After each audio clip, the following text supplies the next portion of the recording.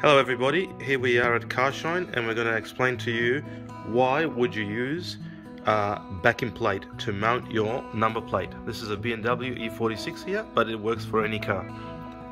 So why would you use it?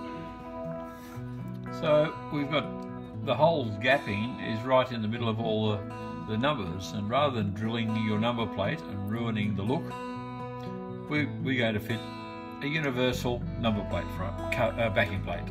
Yeah. And this allows you to fit it without drilling into the number plate or the vehicle. So we have these universal spaces or slides that go through the middle of the the backing plate. Mm -hmm. We line them up with the existing mounting points. Yep, on the vehicle, and that's for any vehicle. Could be a Volkswagen or a Toyota. Um, some vehicles don't have mounting points. That's when you would drill those. But um, for most vehicles, you would line them up with the actual vehicle uh, mounting points. So we mount them up and leave it loose, and we center using the center point here to get a central point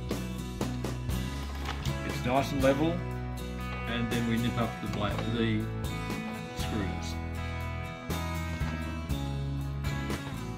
Nice and firm, nice and tight.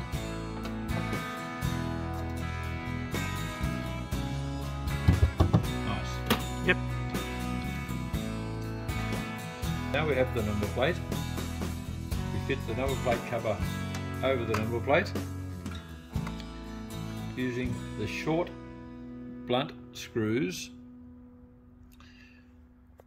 so they don't go too far and hit the body and we drill into the four pre-drilled holes.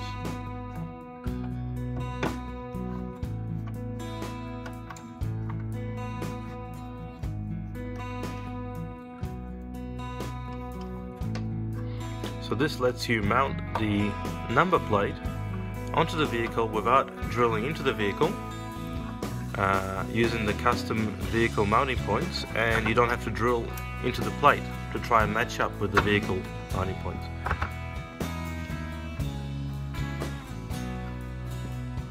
And it lets you fit it perfectly.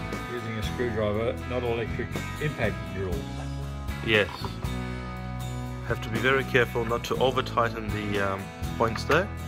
They can crack the corners of the covers as they are uh, acrylic plastic yes. base.